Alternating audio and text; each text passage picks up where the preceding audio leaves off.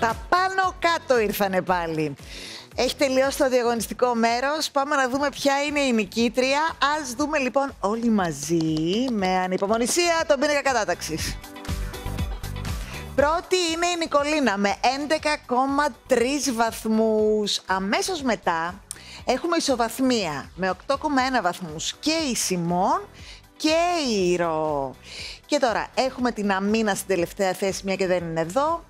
Ε, η Μπ στην αμέσως επόμενη, σημερινή τελευταία επί της ουσίας, με 7 βαθμούς και μετά η Καζαμπλάνκα με 7,3 όπως και η Ανδριάνα με 7,3.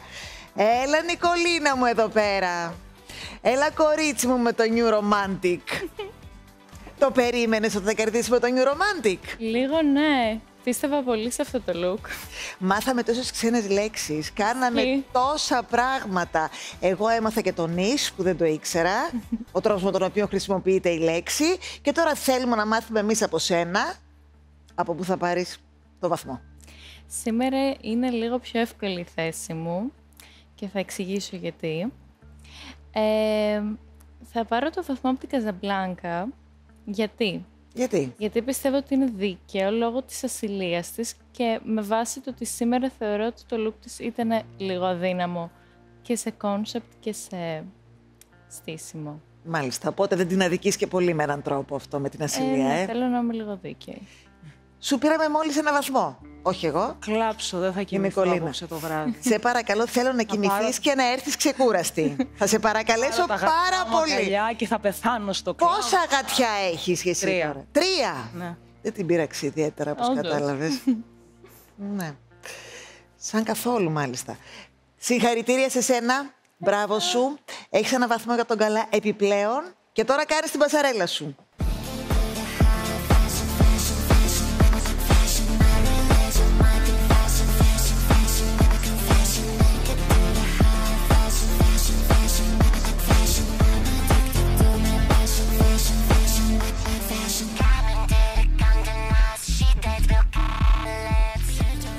Και τώρα κάπως πρέπει να το πω αυτό.